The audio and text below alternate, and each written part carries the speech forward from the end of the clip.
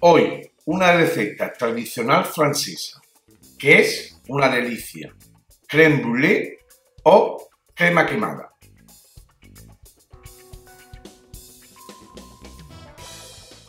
En un cazo ponemos la leche y la nata.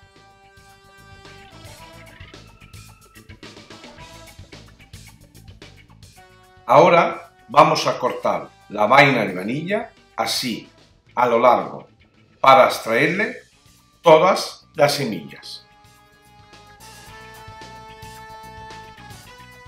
Añadimos las semillas y la vaina al cazo.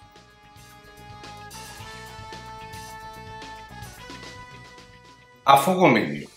Dejamos que romper bien.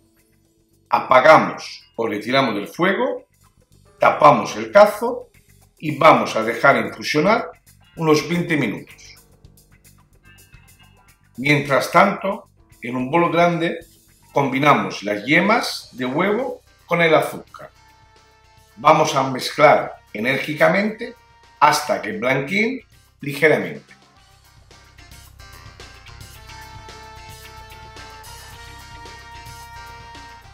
Después de 20 minutos, vertemos el líquido sobre la mezcla de yemas, mezclando bien con las varillas.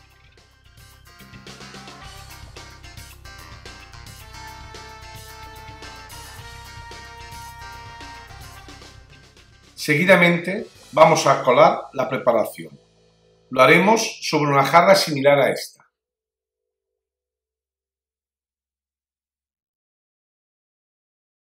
Ahora vamos a llenar los ramequins, casi hasta el borde. Esta receta es para cuatro. Aquí hacemos tres de muestra, pero llega para uno más. La crème brûlée debe cocerse en el horno al baño María, muy lentamente hasta que cuaje. Por esto es tan suave y ligera. Colocamos los ramequins una fuente apta para horno. Llenamos con agua caliente justo hasta que cubre la mitad de las cazuelitas. El horno debe estar previamente calentado. Lo pondremos entre 100 y 130 grados centígrados. El agua de la bandeja no debe hervir nunca. Esto es importante.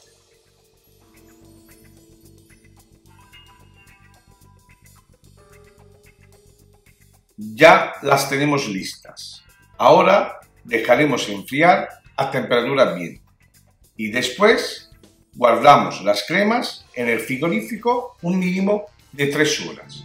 Si lo hacéis de un día para otro, muchísimo mejor.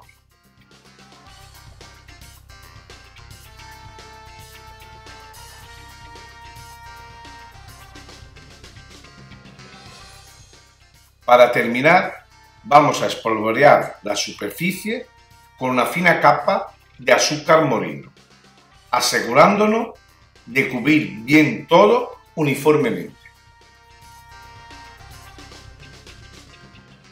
Con un soplete de cocina vamos a caramelizar todo el azúcar, con cuidado de no quemarlo, ya que entonces el caramelo tendrá un sabor amargo. También podéis hacerlo con una pala o un quemador eléctrico. No recomiendo caramelizar en el horno, ya que le estaremos dando más cocción a la crema.